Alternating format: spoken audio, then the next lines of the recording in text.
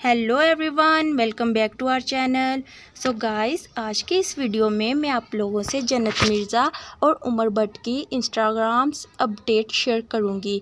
लेकिन video start करने से पहले आप लोगों से रिक्वेस्ट है कि अगर आप लोग मेरे चैनल पर न्यू हैं तो इस चैनल को सब्सक्राइब कर लें और बेल आइकन के बटन को भी प्रेस कर लें।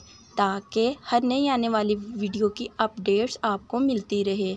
चलिए बिना टाइम वेस्ट किए करते हैं वीडियो की स्टार्टिंग सो so गाइस सबसे पहले मैं आप लोगों को जन्नत मिर्ज़ा की इंस्टाग्राम स्टोरीज पे लिए चलती हूँ। हाय अहमद हेलो जनाब सो गाइस आज जन्नत मिर्ज़ा का शूट था तो उन्होंने शूट के दौरान ही एक सेल्फ़ी पोस्ट की है। इस पर उन्होंने बताया है कि वो किस ब्रांड के लिए शूट कर रही हैं। इसके साथ ही उन्होंने अपनी फुल लुक दिखाई है। तुम्हारी तस्वीर के सहारे मौसम कई गुजारे अच्छा हुआ कि मैं निकल आया। बहुत भीड़ थी तेरे दिल में। स्नैक वीडियो की दो वीडियो पोस्ट करने के बाद जन्नत ने अहमद महमूद फ़ोटोग्राफ़ी जो कि इनका शूट कर रहे हैं उनकी कुछ स्टोरी को अपनी स्टोरी में रीपोस्ट किया है जहाँ वो शूट का बीटीएस दिखा रहे हैं। इसके बाद जन्नत ने एक रिपोस्ट रीपोस्ट की है।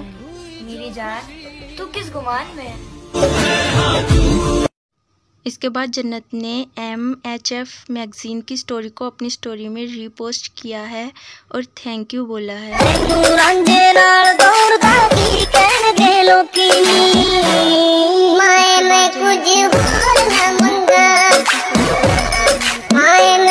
थैंक यू बोला है साथ हार्ट का इमोजी भी लगाया है। इसके बाद जन्नत ने एक फ़ैन एडिट को अपनी स्टोरी में रीपोस्ट किया है जहाँ उमर भट्ट और जन्नत की पिक्स हैं।